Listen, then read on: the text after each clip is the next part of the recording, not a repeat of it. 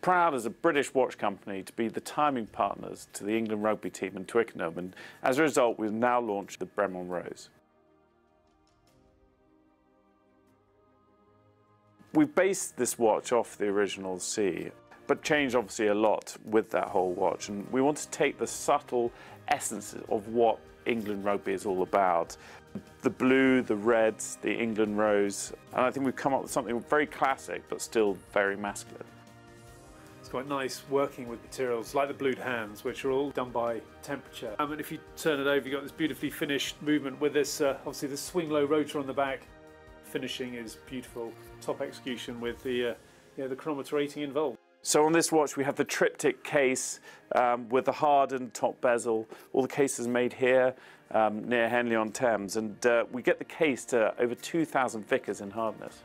Which is actually quite an interesting treatment. That's done in the UK as well. And uh, basically if you take a metal, you diffuse it with carbon and then you can put various coatings on top like chromium nitride. It can really, really strengthen that case.